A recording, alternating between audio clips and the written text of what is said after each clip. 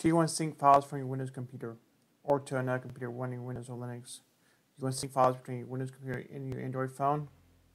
Today I will show you how to install the program on your Windows computer that will allow you to do just that. We are going to be using a program on GitHub created by Anthony Mull called SyncTrayzor.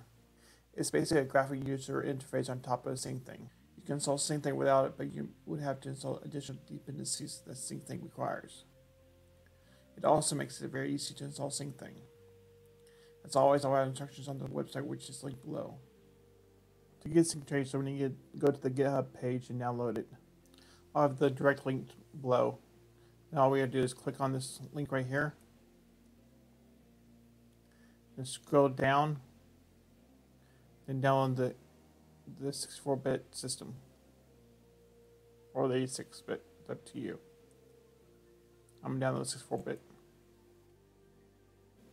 Once it gets downloaded, we just have to launch it. We just have to go to click on downloads, show in folder, and click on it.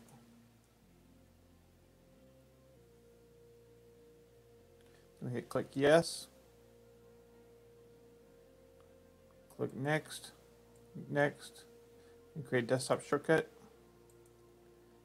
Click install.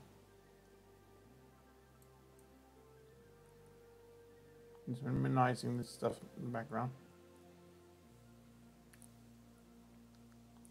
Just hit finish. Give it a few minutes to launch setup.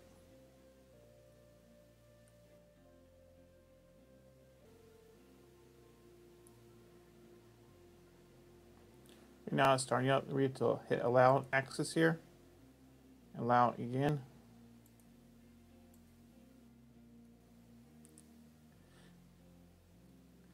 Now we hit yes.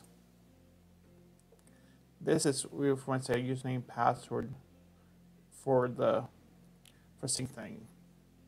All we do hit settings, get GUI, and log in and put our, our username and our password.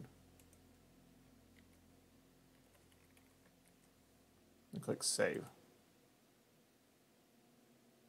SyncTrayzor has a little graphic user interface. This is just a web browser but it also has things like you can, you can stop, restart, refresh browser, open, uh, open external browser.